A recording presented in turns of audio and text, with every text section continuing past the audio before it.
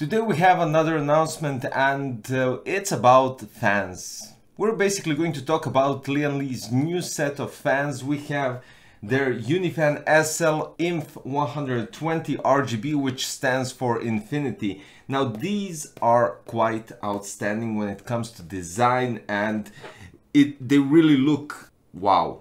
And I'm saying this because first of all on the back you have a Lian Li logo, then you have a mirror effect here on the sides, you have a mirror effect right here in the middle of the propeller and right on the sides you have an RGB line that actually would look quite cool and we're going to check that out of course. Now there's loads of differences comparing to the past SL and even AL fans because we're having a completely different and more universal connectivity.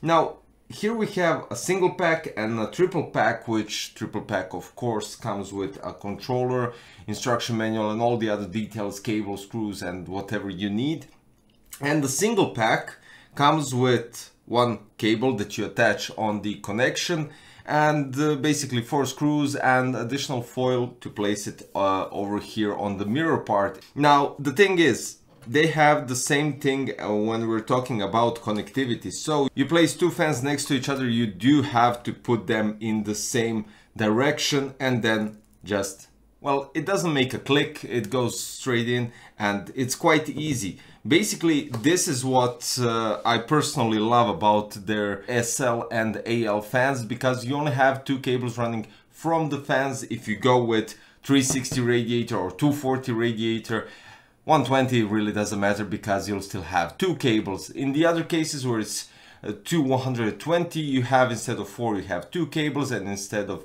360 or 3 120 you get two cables instead of six. Now what I wanted to say when it comes to connectivity, these SL fans when, it, when they come in a single pack, they actually have a standardized 3 pin 5 volts addressable RGB header. So this means compared to the others, you can connect them directly to your motherboard and control them with motherboard software. So basically in other terms, you don't need a controller. But if you want those special effects and if you want to use the L-Connect software, which is definitely upgraded from the first version, you'll be able to get the controller in 3-pack and most likely separately, but that I will check that out later and leave that information in the comments. Now, what is really cool is they gave us an opportunity to use them individually, place them and connect them directly to the motherboard. That's the biggest difference apart from visual aspect and everything else. Now, when we're talking about some specifications, uh, as I already stated about the package content in a single and triple pack but when we're talking about dimensions here it is now.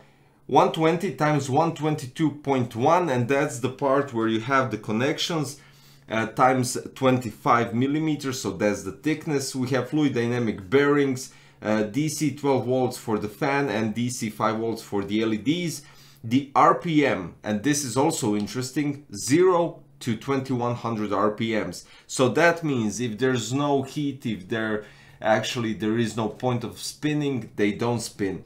Airflow is 61.3 cfm static pressure is 2.66 millimeter h2o and maximum noise level is 29 decibels. We have the L-Connect to uh, actually control the fan speeds and LED lighting. As always, you have four channels and this is also different. So the controller has four channels with different uh, connections and here is the thing. So the connections with the controller is completely different. So in the box, in the triple pack, you get additional four connectors in terms of if you actually buy a single pack, you have to swap the single pack cable and use this one because it's a specific connector with 7 pin header and that's how it goes into the controller so it's fairly easy you connect it and it's even simpler than the past thing because you don't actually have with this cable you don't actually have a PWM control so you skip the motherboard and you go directly into the controller where you control the speeds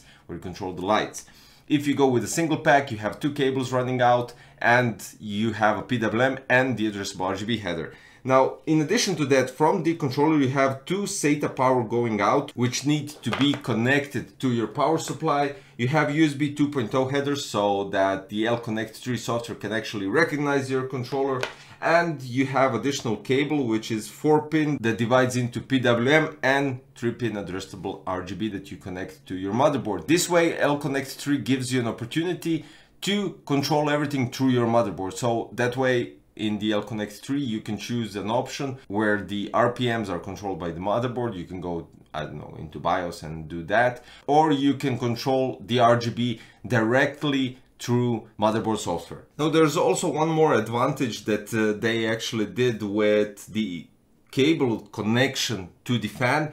You have a possibility to switch the orientation of the cable uh, on the power module. So you basically remove the plastic cap, you switch the cable on the other side, you place the plastic cap back on and it locks perfectly.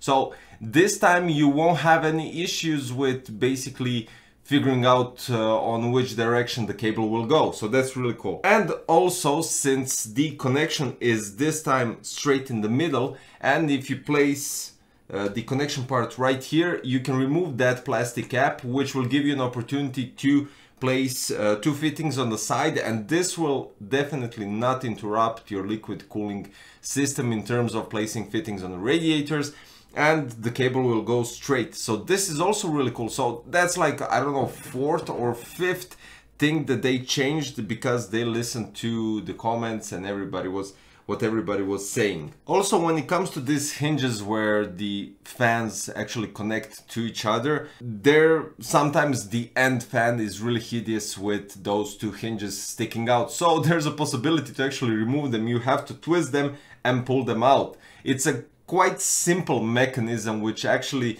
gave us some sort of a relaxation in terms of uh, possibility of not thinking if the fans will fit just because of those two millimeters sticking out. Now it's actually time to check out the build. With the new controller that comes with the 3 pack you can actually connect the Galahad RGB and you can connect the Evo so O11D Evo front RGB line as well on that. And you have up to two devices. Maybe you could use a splitter but I'm not quite sure because I didn't have the possibility to use a splitter because I don't have one. But here is the thing. Don't worry if the fans don't spin because that's an initial time while while the L-Connect boots up in your Windows. When it boots up the fans start spinning. Now in the L-Connect 3 you can do everything with the RGB Madness and Static Meteor.